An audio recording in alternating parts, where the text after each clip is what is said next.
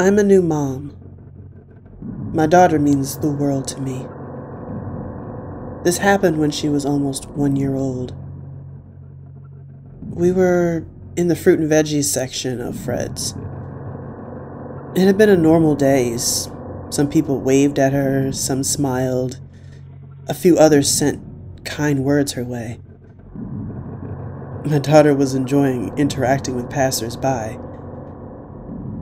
But then, out of the corner of my eye, I see a man trying to communicate with my daughter. He made sounds loud enough to get her attention, but quiet enough that I wouldn't hear. I only saw because he was making some weird kissy face at her as as he did. Something about it felt terribly off. Usually people will interact with her while making it very obvious to me, but this guy was making an effort to stay just out of my eyesight while keeping his eyes on my daughter. I'd never experienced anything like this before. I was alone and unsure of what to do, so I just left that section of the store and forgot about it.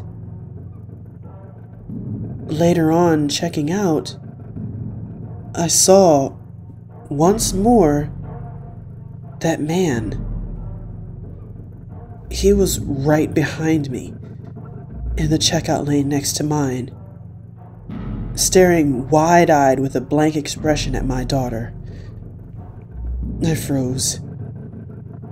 I recall the lady checking me out asking me if someone was making me uncomfortable, but I was so shaken up I couldn't get the words out.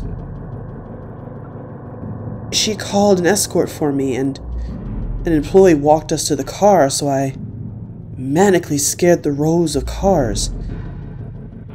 He loaded my car up as I buckled in my daughter and patiently waited till I locked my doors and drove off to go back inside. Perhaps I was overthinking things. But that sense of terror is something I'll never forget.